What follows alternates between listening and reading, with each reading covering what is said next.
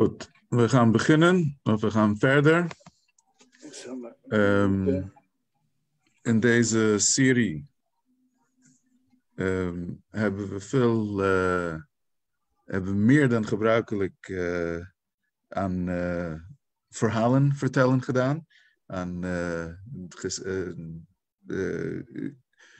menselijke illustraties te gebruiken om eh, filosofische ideeën eh, te illustreren. Ehm, nou, gaan we dat, eh, daar wil ik vandaag ook mee beginnen. En dit is een verhaal over een meneer ehm, die bekend is geworden als Harry Fischel. Misschien heeft u de naam een keer gezien, zo niet, hoort u daar nu van. Eigenlijk was hij geboren als Yisrael Aaron Fischel. Eh, is een Joodse man uiteraard. Eh, ergens in eh, Litouwen, geboren. In het jaar eh, 1865. Ehm, en op 20-jarige leeftijd, 1885, heeft hij de grote tocht gemaakt eh, naar de Verenigde Staten. Ehm, hij, was, eh, hij, hij, had al, hij was al opgeleid tot architect. En zijn idee was, hij komt naar de VS, daar gaat hij geld verdienen, daar gaat hij zijn, voor zijn hele familie eh, zorgen. Ehm, en zo, uh, dat was het, uh, de ambitie. Hij kwam met Amerika, naar Amerika, zoals ze dat zeggen, penniless, met, het, met de hemd op zijn rug en verder niks. Um, en je zou zeggen, zijn verhaal is het verhaal van The American Dream. Omdat toen hij overleed, was hij een van de belangrijkste um, vastgoedmagnaten in uh, Manhattan. Maar er is een klein detail van het verhaal die het, uh, het meest belangrijke is. Zoals hij, was architect. Hij kwam naar Amerika, probeerde aan het werk als architect. Maar dat, was, dat bleek zo goed als on onmogelijk te zijn, überhaupt als immigrant die nauwelijks de taal kent uh, enzovoort. Maar het grootste probleem was natuurlijk dat hij wilde Shabbos houden. En uh, in de, de 19e eeuw was dat ongehoord in, uh, in het zakenleven van, ook van New York, waar er zoveel Joden aanwezig waren. Maar om echt Shabbos te houden, het was een, gewoon een zesdaagse werkweek. En je moest Shabbos uh, komen opdagen.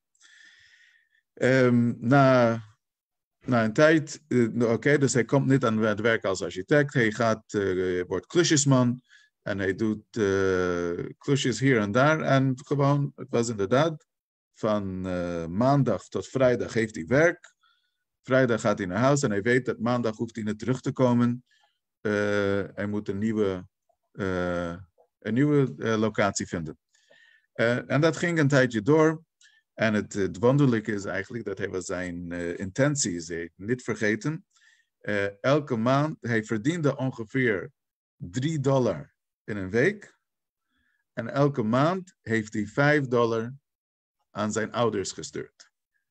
In, in Litouwen. Dus hij bleef, heeft zijn, zijn intentie was die niet vergeten. Nou, op een dag krijgt hij toch een aanbod om bij een, bij een architectenbureau aan het werk te gaan. En voor welke reden dan ook heeft hij gekozen om niet te beginnen over Shabbos. Gewoon, hij, dacht, ik ga beginnen, ik ga werken. En uh, als het Shabbos wordt, als het vrijdag wordt, dan zeg ik hun, luister, ik ben bereid om te werken voor een halve salaris per week. Dus jullie krijgen in plaats van zes dagen betalen jullie me voor drie dagen. Ik werk twee dagen gratis en geef me één dag vrij. Dat, dat, was zijn, dat, dat, dat dacht hij, uh, dat zal ik uh, voorstellen. Hij begint, hij gaat aan het werk. Vrijdag gaat hij naar de directeur. met, zijn, met zijn proposal. En er zegt geen sprake van. Als je morgen, als je Shabbos niet op kantoor bent, dan hoef je maandag niet te komen. En ver, vergeet maar een halve week salaris. Als je Shabbos niet op kantoor komt, dan word je ook niet betaald voor de week die je gewerkt hebt. Nou, hij gaat, uh, dus hij, gaat naar huis. En hij, waarschijnlijk heeft hij niet veel geslapen die vrijdagavond. En Shabbasochtend gaat hij vroeg naar school. Want dat had je toen. In die tijd waren er vroege schooldiensten om zeven uur of, uh, op Shabbos. Omdat er waren kennelijk mensen die gingen s ochtends naar school. En na school gingen ze naar, op, eh, naar kantoor, op hun werk, of naar de winkel, of wat dan ook. Dus de schooldienst moest afgelopen zijn voor half negen, zodat ze om negen uur op kantoor konden zijn. Dus hij gaat inderdaad vroeg naar school met de intentie en zegt, oké, okay, luister, ik, eh, je kan niet vechten tegen de barricade. Dit is het. Um, hij gaat vroeg naar school en hij is klaar met davenen en begint te lopen richting het architectenbureau. Maar wat er precies gebeurd was, weet hij niet. Maar onderweg kon hij het niet opbrengen. Hij kon de, de, de, de, de passen liepen gewoon niet. Zijn voeten konden de passen niet maken om naar kantoor. Ja, het verhaal vertelt niet of hij ging naar huis of hij ging terug naar een andere school. Of hoe hij precies de rest van de Shabbosdag doorgebracht heeft. Maar hij kon niet naar zijn werk gaan. Hij zegt, ik werk hier, wat, wat zullen mijn ouders denken? Ik stuur ze geld. Als de ouders weten dat het geld is geld dat ik heb verdiend door op Shabbos te werken, eh, wat zal ik tegen mijn kinderen zeggen? Wat zal, wat zal voor mij blijven als ik uh, niet op mijn principes kan staan? Hij is niet op kantoor komen uh, opdagen. En inderdaad, de, de, baas heeft zijn woord gehouden. En hij werd niet betaald, ook niet, met, uh, ook niet voor de week die hij wel gewerkt heeft. Hij ging weer verder als aannemer hier en daar klusjes doen. Um, maar zoals gezegd, um, na verloop van tijd, ik, ik zoek even jaartal op. Ik, kan ik. Nou, eh, ik zie niet zo snel het jaartal, maar een, aantal jaren later heeft hij een speciale, was een speciale klus die hij moest doen op Park Avenue. Dat is een van de voornaamste straten in Manhattan. En heeft het zo goed gedaan dat uh, dat heeft hem dus zijn reputatie doen verspreiden. En hij is een van de grootste vastgoedmagnaten. Uiteindelijk is hij een van de grootste vastgoedmagnaten geworden. Hij heeft ontzettend veel gedaan voor Jodendom, zowel in de VS als in Israël. Er zijn veel, daarom, uh, als u in Israël, er is een hele beroemde onderzoeksinstelling, uh, Machon Harry Fischel, die uh, op zijn naam vernoemd is. Hij heeft voor Yeshiva University heeft hij, heel veel gedaan. hij, heeft, hij was, hij was een, een, zeer belangrijke um, donateur voor de ontwikkeling van met name het orthodoxe jodendom in New York en ook in, later in Israël. Um, dit is oké, een mooi verhaal met een mooie afloop. Maar, het, is, maar de, het verhaal is de uitzondering van de regel. En die uitzondering vertelt ons wat eigenlijk de regel was. En dat de regel was niet zo, uh, was niet zo mooi. Voor uh, honderden duizenden Joden die in Europa een, uh, een traditionele Joodse leven geleid hebben. Op het moment dat ze die grote, dat, de grote plas overgestoken hebben. En ze kwamen op de Amerikaanse kust aan was niet alleen de ellende van het Jodendom achter zich gebleven, maar ook de Joodse traditie hebben ze achter uh, gelaten. Uh, ja, en, ja het, het, klinkt niet mooi, maar dat was, dat was de realiteit. En dat in zekere zin is dat nog steeds de realiteit. En het is de realiteit niet alleen in Amerika. Het is, uh, wij zitten nu, de, de, de, de uitdaging die het Jodendom nu mee te maken heeft, is van een totaal andere aard dan wat er ooit in de geschiedenis was. Um, nou, deze, de, in deze serie gaan we dus uh, behandelen we een ma'amar van de, van de Rebbe. Um, en ik noem het nog een keer. Is uh, in verband met de jaartijd van de Rebbe dat uh, overmorgen plaats zal hebben. Um, in die, dat ma'amar is dus, dus vorige week hebben we, uh, hebben we een beetje historische context gegeven voor, de, uh, voor, voor wat de fundament is van die ma'amar van de Rebbe. De Rebbe heeft het gebaseerd op een ma'amar van zijn voorganger in de twintiger jaren, die uitgesproken heeft in de twintiger jaren in het communistische Rusland.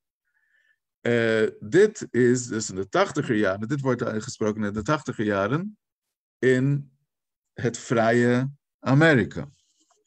En dan zegt de Rebbe, hij, hij gebruikt niet die woorden, maar met, met, mijn woorden ga ik het verwoorden. Uh, de Rebbe zegt, ik kijk om me heen en ik zie om me heen prachtige mensen. Ik zie mensen die ik ken tientallen jaren, jaren mensen die samen met mij in Rusland waren. Mensen die ondanks de verschrikkelijke uh, onderdrukking van de communisten hebben ze toch voet bij stuk gehouden. En ze hebben uiteindelijk hebben ze de, de, um, het gewonnen van de communisten. De communisten is het niet gelukt.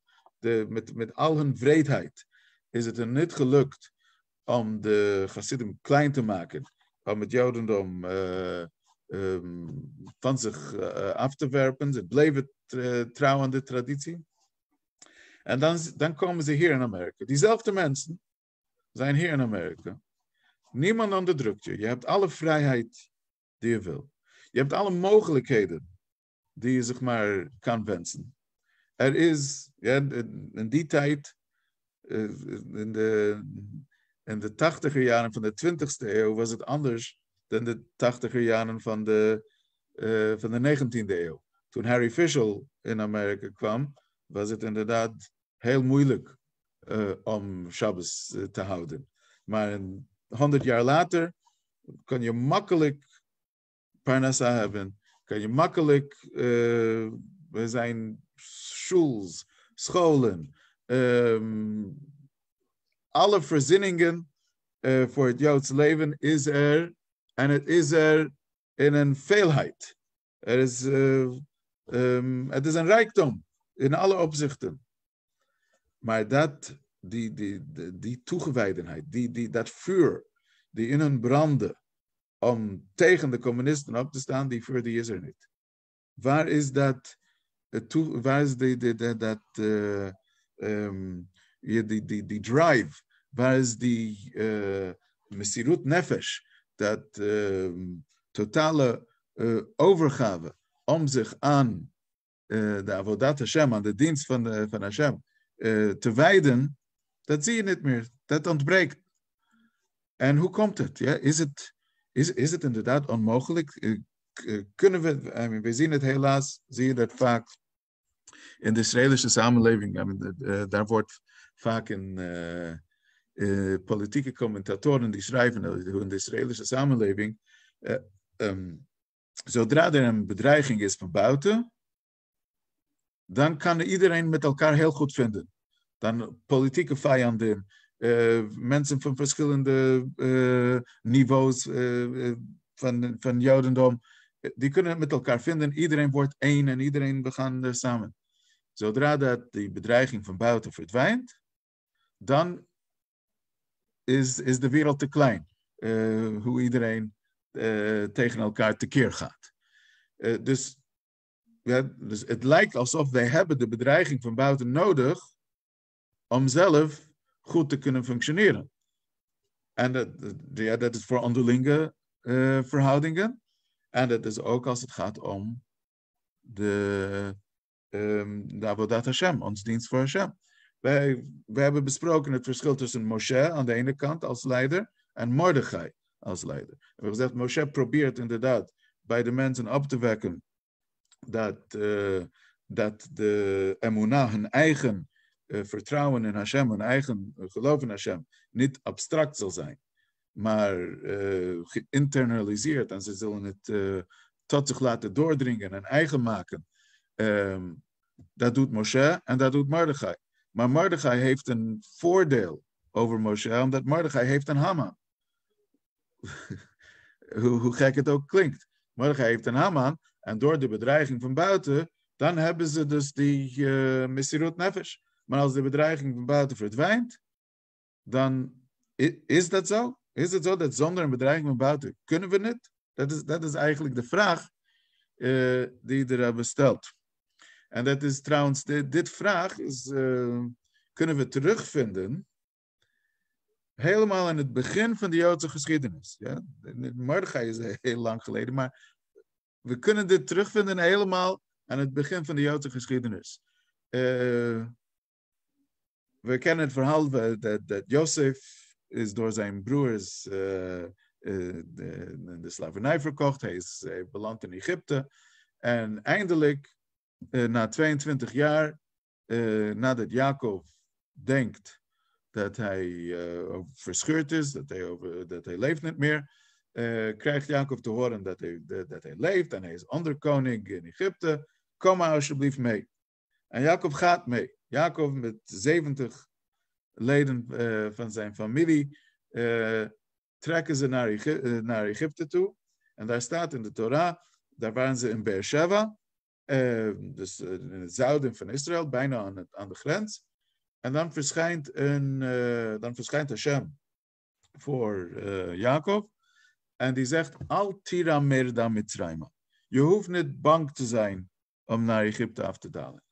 En de vraag, bang, waarom zou Jacob bang zijn? Hij, gaat, hij wordt daar ontvangen als een koninklijke gast. Hij wordt daar gebracht met, met de farao zelf heeft koetsen uh, gestuurd om hem naar Egypte te brengen. Zijn zoon is de, een, de ene na machtigste man uh, in de machtigste koninkrijk. Waarom zou die bang zijn? Er valt niks te bang, zijn, uh, bang voor te zijn, maar de verklaring die daarvoor gegeven wordt, juist daar, daarvoor was die bang. Het gaat, als het goed gaat, dan moet je bang, dan moet je goed nadenken, zal het lukken om de tradities te behouden? Zal het lukken om de waarden waar we zo voor, zoveel voor gestreden hebben, zal het lukken ook in een tijd van strijd? Is het ons gelukt? Uh, Lavan heeft hem niet kunnen kleinmaken. Esau heeft hem niet kunnen kleinmaken. Ook het verhaal met Shem, alle uh, incidenten heeft hij prima, is hij prima doorheen gekomen. Maar nu is er een hele nieuwe uitdaging. Nu is de uitdaging van wanneer het goed gaat zal het in, een, in, de goede tijden, zal het ook, zullen we het ook kunnen behouden en voortzetten. Dat, is, dat was zijn zorg. En Hashem zegt, altijd, je hoeft niet bang te zijn, omdat het zal lukken, zoals het inderdaad gelukt is. Maar nu, in de 21ste eeuw waar we nu leven, is het inderdaad zo dat de meerderheid van het Joodse volk leeft in een tijd van vrijheid, uh, goed, hier en daar zijn er nare incidenten, maar niet, niks te vergelijken met wat er eh, in de loop der eeuwen ons uh, overkomen is. Um, en, en dit is de grote challenge, dit is de grote uitdaging van deze tijd. Zo kunnen we de kracht vinden in ons om trouw te blijven aan het Jodendom, ook in tijden van rijkdom. Uh, in, de, goede tijden. Dus daar zegt de Rebbe, laten we terugkeren naar dat verhaal van de Megillah. We hebben een, een pasuk in de Megillah gelezen. We hebben een, een vers uit het negende hoofdstuk van de Megillah. We kibel ha-Yehudim et asher la'asot. Dat in de tijd van Mordechai hebben de Joodse mensen voltooid datgene wat bij de berg Sinai is begonnen. Dus dat de Shavuot, uh, de, de, het ontvangen van de Torah bij de berg dat is maar een beginsel. Het voltooiing daarvan is in de tijd uh, van Purim. En daar hebben we vorige week over gesproken, dat daar, de, daar is de, de grote vraag, hoe is het mogelijk? Ze waren uh, spiritueel gezien, waren ze in de tijd van uh, Moshe, waren ze eigenlijk op een veel hogere niveau dan in de tijd uh, van Mordechai. Er was veel meer goddelijkheid te ervaren in de tijd van Moshe dan in de tijd van Mordechai. Hoe is dat mogelijk? En hebben we gezegd, dat ligt aan, de, dat heeft te maken met de Messirut Nefesh. De, uh, omdat, ja, en, en, daar hebben we ook dat, dat woord van katit lamaor, van de, uh, van de olijven, dat olijven, wanneer ze geperst worden, dan komt het mooiste, de, dan komt de olie, de, het meest waardevolle van de, van de olijf, komt naar buiten juist door het persen. En dat is hetzelfde wat, er, uh, wat, wat, we daar gezien hebben. Uh, omdat ze stonden in een, uh, in een, in een toestand van Mesirut Nefesh. Ze hadden totale toewijding. En ze bleven Jehudim. We hebben gesproken over het feit dat ze bleven hun Joodse identiteit hebben ze niet verlogend. Ook al was het moeilijk. Integendeel, juist wanneer het moeilijk werd, hebben ze het nog sterker aangehouden. Dat heeft ze dus die extra kracht gegeven om dieper in hun ziel te kunnen bereiken dan wat het Joodse volk bij de berg Sinai bereikt. Bij de berg Sinai hebben ze alleen, uh, ja, was hun ziel natuurlijk geraakt, maar het was alleen uh, tot hiertoe. En bij de, bij de geschiedenis van Purim hebben ze geraakt een veel diepere element in hun ziel, waardoor ze, ze kunnen vol, konden voltooien wat bij de berg Sinai pas begonnen is. Maar zegt de kijk even, waar staat deze pasuk? Waar, waar in de Megillah wordt deze pasuk geschreven? Het is in hoofdstuk 9. In hoofdstuk 9 van de Megillah is Haman al uitgeschakeld. Zijn tien zonen zijn al uitgeschakeld. Het huis van Haman is nu eigendom van Esther Hamalke. Uh, Mordechai is al benoemd tot onderkoning, de, onderkoning van, uh, van Perzië. Mordechai heeft al de, de zegelring van de koning gekregen. Dat was een tijd, en zoals we elke week in, in Havdalah zeggen we met het vol, La Yehudim Haita, Ora, Besimcha, Besasson, Vikar. Het was licht, uh, vrolijk, blijdschap en, uh, en, en eervol. Het, het, waren goede tijden. Niet alleen in, in materiële zin, ook spiritueel. Zoals de Talmud uitlegt, dat Ora, Simcha, dat zijn allemaal die, die veel woorden. Waarom gebruikt de Megillah zoveel woorden? Het staat allemaal symbool voor, voor spirituele elementen. Dus ze stonden, uh, ze waren in een hele goede situatie. Zowel uh, materieel als spiritueel. En, is dat, en dan zeggen we, op dat moment hebben ze kunnen voltooien wat er bij Sinai pas begonnen was. Zonder dat er een Haman over hen, uh, zonder de onderdrukking van een Haman, zonder de, de bedreiging van een vijand. Hoezo? Waar hadden ze op dat moment, hoe, wat heeft hun op dat moment de mogelijkheid gegeven om zo diep in hun ziel te kunnen bereiken, verder nog dan wat, de, uh, wat uh, hun voorouders bij de berg Sinai hebben bereikt. Nou, dus dat uh, heeft te maken met een, een andere kleine detail die men vaak vergeet. We hebben vorige keer hebben we gesproken over het feit dat het verhaal van de Megillah begint, de eerste twee hoofdstukken, drie hoofdstukken, lijken eigenlijk overbodig te zijn. Het hele, het hele verhaal van de feest is zeker overbodig. Het verhaal over de, de, uh, over de, de, schoonheidswedstrijd, waardoor Esther uh, gekozen werd. Dat zou je misschien kunnen zeggen, dat, heeft wel, dat is wel belangrijk voor het verloop van de vrouw. Maar het verhaal van het feest is eigenlijk niet belangrijk om, om het Purim-verhaal te weten. Waarom vertelt, vertelt dat? hebben we gezegd. Dat heeft te maken ook, dat illustreert de, de emancipatie dat het Joodse volk daar uh, gegund was. Ze waren uh, gelijken. Ze waren ook uitgenodigd voor het feest. En ze hebben, iedereen heeft gekregen alle tradities of, uh, of, leven, of levensstijls werden gerespecteerd. Prima. Maar aan het einde van de Megillah, hoofdstuk 10, kan je dezelfde vraag stellen. Hoofdstuk 10, wat staat in hoofdstuk 10? dat de koning Achashverosh heeft nieuwe belastingen uh, ingesteld en, hij was, en zijn koninkrijk werd steeds groter en machtiger. En Mordechai was, uh, was ook uh, um, zeer populair, iets minder populair nadat de belastingen verhoogd waren, maar hij was nog steeds populair. En um, waarom is dat interessant voor ons? Waarom moeten we weten, waarom moeten wij in het jaar uh, 2020 weten dat Ahasveros, wat Ahasveros verder met zijn koninkrijk gedaan heeft. Het Purim-verhaal is eigenlijk afgelopen. Maar dat, dus de verklaring daarvoor is, omdat ondanks alle mooie dingen, is er één ding die je moet weten. Hij is nog steeds, de koning is nog steeds Ahasveros. Mordechai is wel heel hoog, maar hij is niet de koning. Er is een, de, de koning, dat is Achashverosh.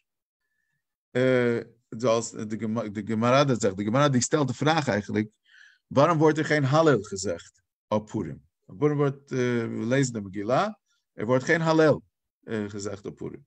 En zegt de Gemara, omdat Akati Avda Achashverosh. We zijn nog steeds uh, onderdanen van Achashverosh. En dat is dus, okay, die leeft niet meer.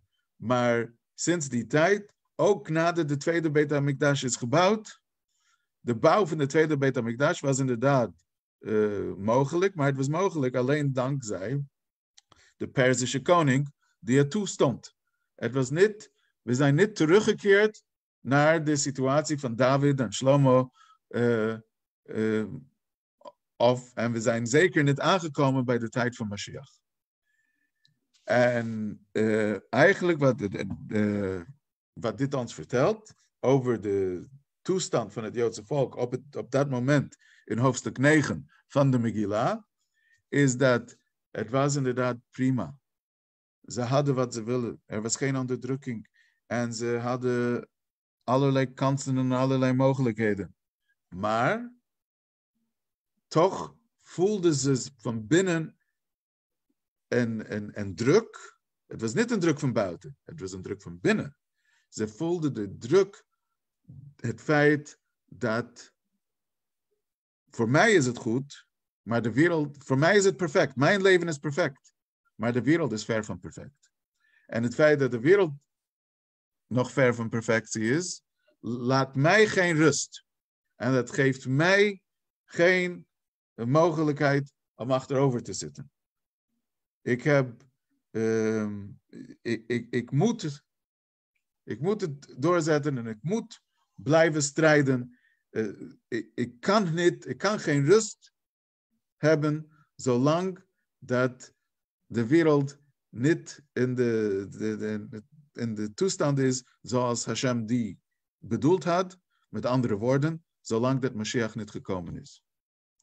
En denk je dat dat uh, um, dat dat iets vergezocht is, als je daarbij stilstaat, dan zie je dat dat uh, helemaal niet vergezocht is.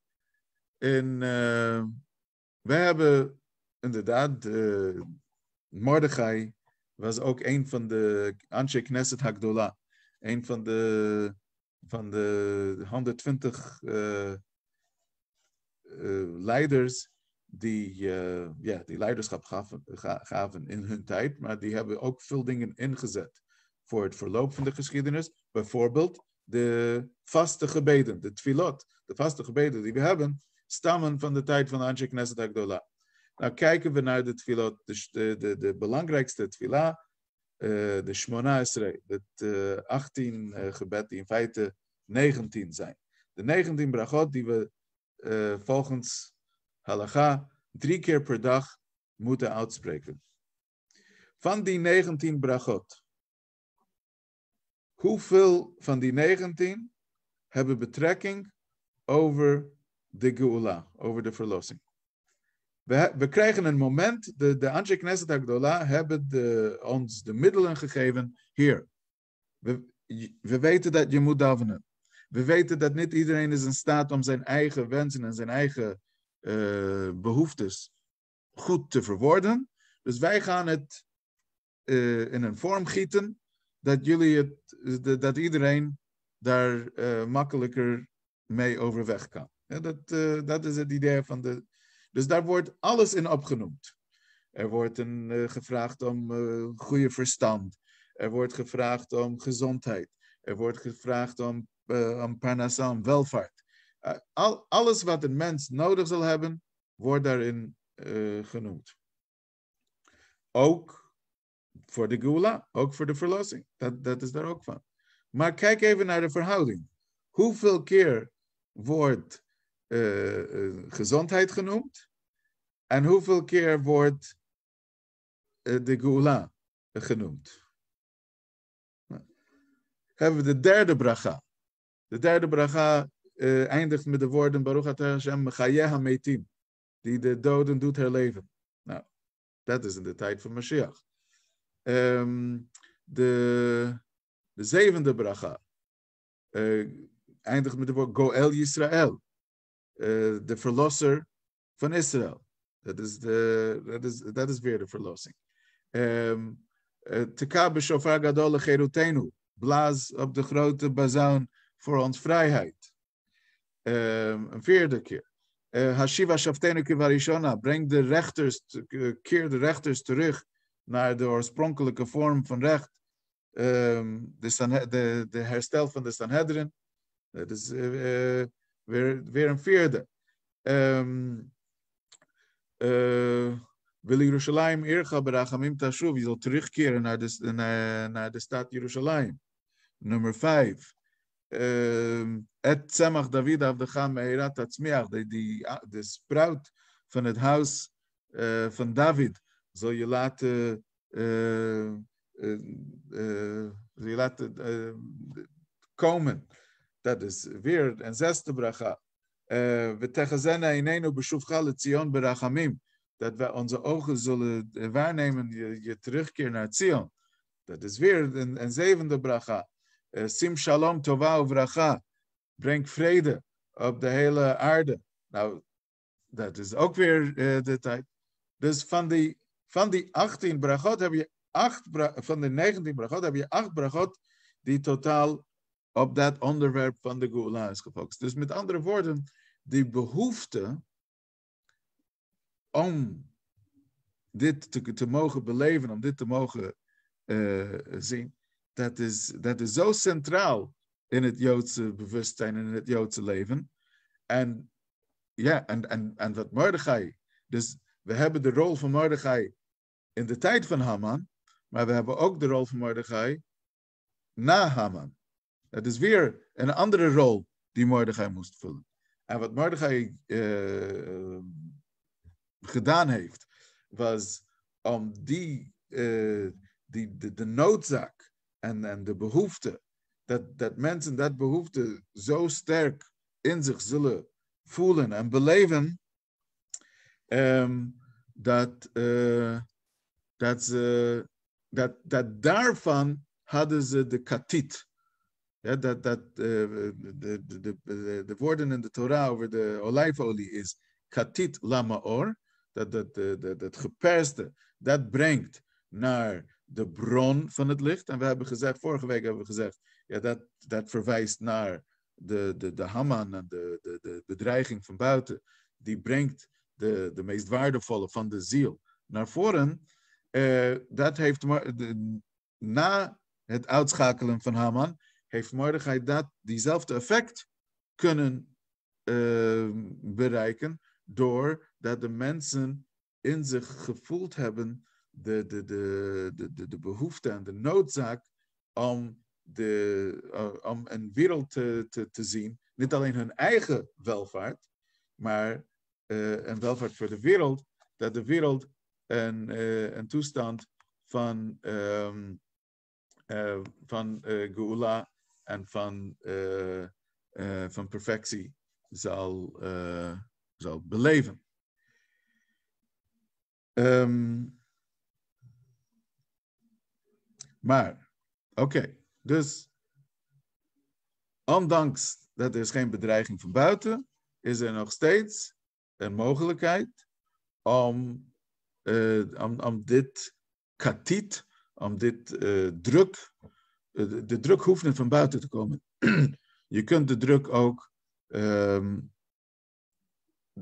de, de druk en de, de noodzaak kun je ook zelf, in jezelf vinden. Maar de vraag is, uh, wat, wat, wat, was, wat is de rol van de druk? Waarom, de, de druk is niet alleen goed om, om mensen zenuwachtig te maken. Het gaat er niet om, om te spelen. op het, het, is geen psychologische spel waar je probeert mensen um, op de proef te stellen. Wat is de. Waarom. Wat is de rol van die druk? De rol van die druk is om, uh, om, omdat we willen begrijpen hoe is het mogelijk in een periode zoals de periode van, van Mordechai dieper in ons ziel te kunnen bereiken dan in de periode van Moshe.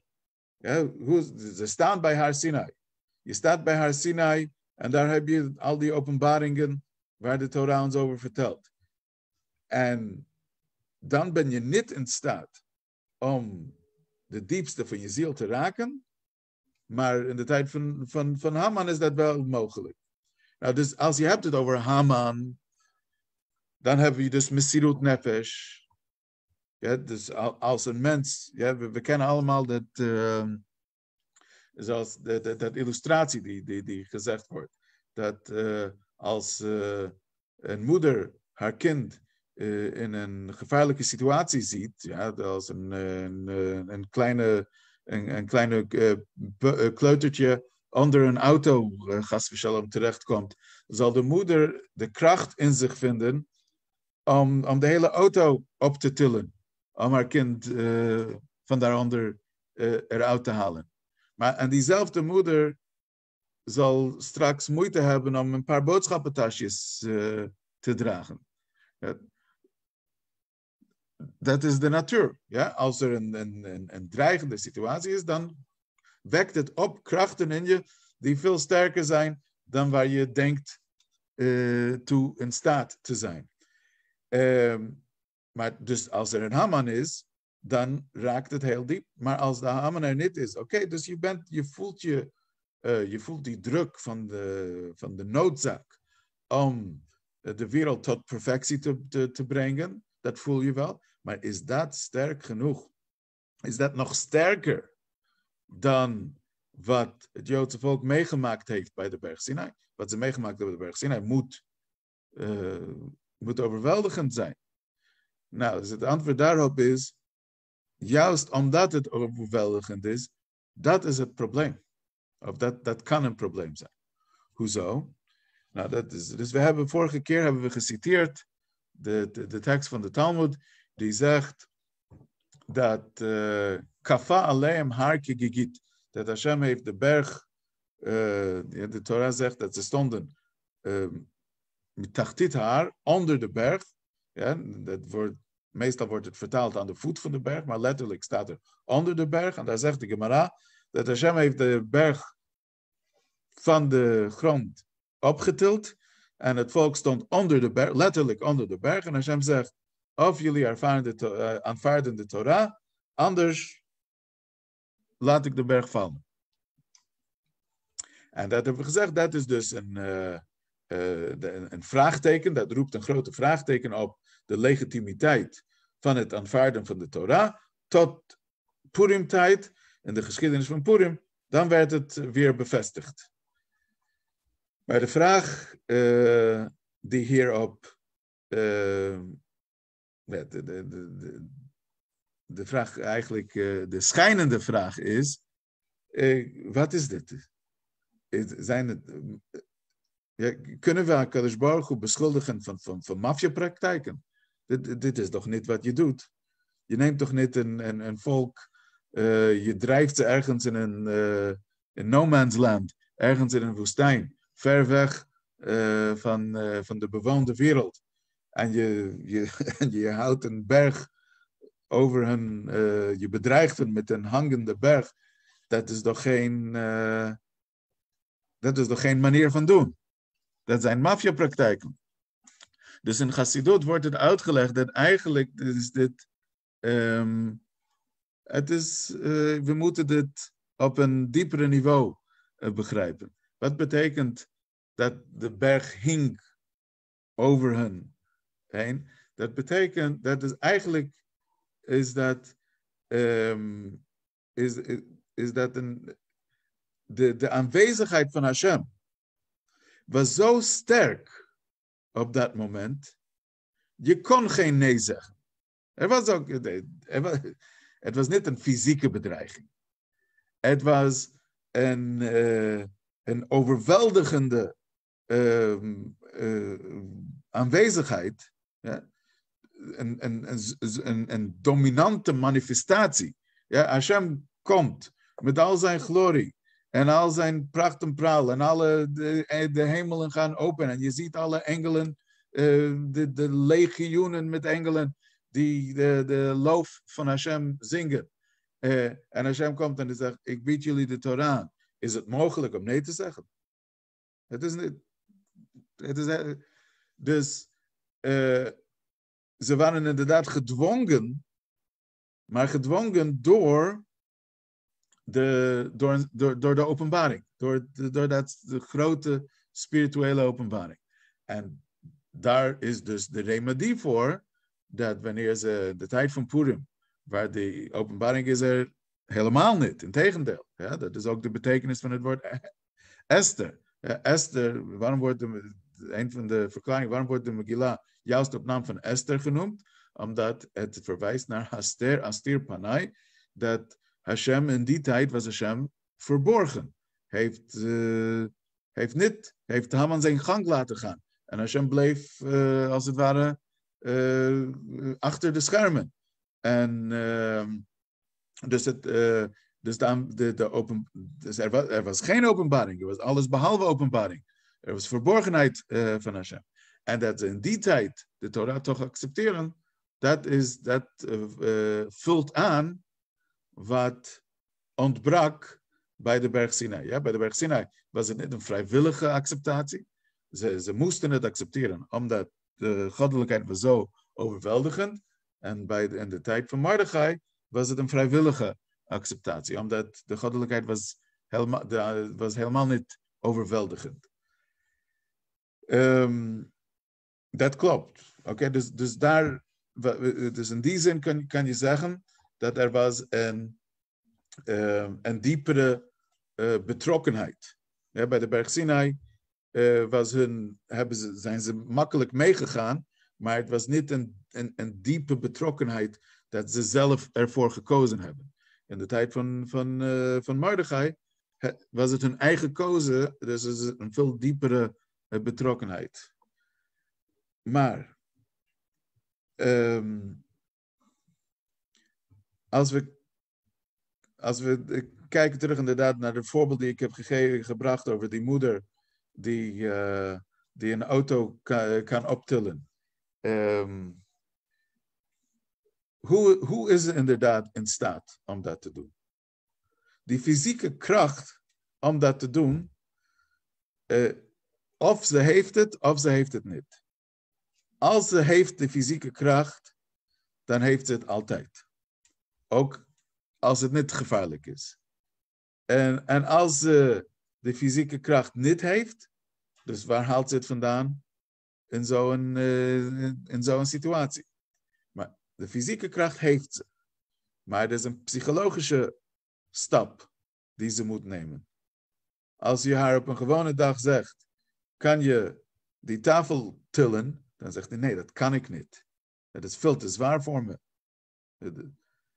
Op dat moment, op het moment dat ze ziet dat haar kind in gevaar is, dan op dat moment is, wordt haar, de, de psychologische barrière worden gewoon uitgeschakeld. Alle, al, al die denkprocessen die worden uitgeschakeld. En van de diepste van haar ziel springt ze daarin en ze doet wat ze moet doen. En zo kan je zeggen, dat is ook wat, uh, wat er was met met het Joodse volk in de tijd van Haman. En wat we, uh, we hebben ook, uh, inderdaad, vor, vorige week hebben we ook het verhaal over Daniel Pearl verteld. Of andere voorbeelden die we, helaas hebben vaak zulke voorbeelden in, in de geschiedenis gehad. Dat op het moment dat iemand voelt een directe bedreiging op zijn Joodse identiteit, op zijn Joods zijn, ja, dan vindt hij krachten dat heel diep in hem zijn. Maar er is ook iets anders dat er gebeurt. Niet alleen komen die diepe krachten naar voren, maar er, de, zijn normale processen, de gewone denkprocessen, of de, zijn de, de psychologische barrières, zoals uh, je dat noemt, die worden uitgeschakeld. Die worden even uh, op, uh, op mute gezet. Ja? Die, die zijn er niet. Het is niet dat je hebt een argument en je wint het argument, maar je zegt, ik luister niet naar wat je zegt, ik luister nu naar de, mijn, mijn neshama, mijn diepste neshama. Um, en dat betekent dus dat, oké, je neshama is inderdaad actief, maar je hebt een paar stappen overgeslagen. Je, je slaat een paar stapjes over. Uh, de, de, het, uh, het, het hele bijzondere, hè, de verdienste, wat er gebeurt bij, uh, bij uh, nadat Haman uitgeschakeld is. We dat Mordechai weet bij, de, bij, bij, zijn toehoorders de, deze, de, deze de, de noodzaak en de behoefte om de wereld tot perfectie te brengen, dat het zo sterk aanwezig is, dat ook in een tijd dat het voor hun allemaal goed is en allemaal prima is, dat ze toch die druk uh, ervaren, dat kan niet door je denkproces uit te schakelen. Dat wordt juist via je denkproces bereik je dat. Dat is dus een, uh, meerwaarde, eigenlijk de, de, de Mordechai 2.0, om het zo maar te noemen, de, de, de tweede versie van Mordechai, nadat Haman uitgeschakeld is, be, uh, heeft een meerwaarde over de eerste rol van Mordechai, omdat daar is de hele mens bij betrokken, niet alleen zijn handelingen en de, de, de hele diepe neshama, die duwt hem de, om te kunnen handelen op een manier die je anders zou denken niet mogelijk. Het gaat zelfs via de normale, de, hele denkproces wordt meegenomen en de hele um, psychologische toestand wordt meegenomen. En alles is betrokken in die, die toewijding die ze tonen op, in hoofdstuk 9 van de Megillah, is een toewijding waar de hele mens uh, met al zijn uh, facetten erbij betrokken zijn. En dat is dus, um, zoals, dat, dat is de taak, als, als we gaan dus terug naar de, uh, naar 1980 of 1981, de, de, de, taak dat, uh, dat de Rebbe voor zich zag. Hij zegt, je hebt inderdaad, er is geen dreiging van buiten. De wereld, de wereld tolereert ons, niet alleen tolereert ons, de wereld geeft ons ook allerlei kansen en mogelijkheden om, om Hashem te dienen in alle vrijheid en op de optimale manier. Maar Kijk om je Het is misschien goed voor jezelf, maar kijk om je heen en zie waar, hoeveel goddelijkheid ontbreekt. Ja, hoeveel plaatsen er zijn waar de Kedusha niet bereikt heeft. Hoeveel mensen er zijn die het ver van goed hebben. Ja, iedereen heeft wel de kans, maar niet iedereen bereikt uh, de kans.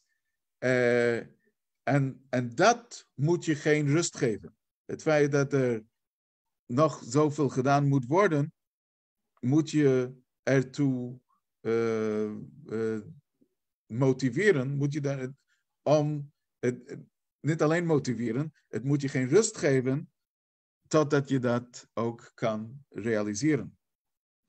Um, ik zou eigenlijk, uh, ja, dat, uh, ik, uh, citeer vaak wat um, de voormalige opperrabijn van, van de Britse, hoe heet het, Britse gewest, de Commonwealth, um, Rabbi Jonathan Sachs. Gemeene West. Gemeene West, ja, sorry. Come, ja.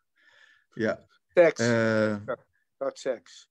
Ja, uh, Lord Rabbi Jonathan Sachs, uh, die zegt, um, die zegt een, uh, iedere leider heeft volgelingen. Een grote leider heeft veel volgelingen. Het mooie of het bijzondere van de Rebbe was dat hij heeft niet veel volgelingen, maar hij heeft veel leiders opge, opgeleid.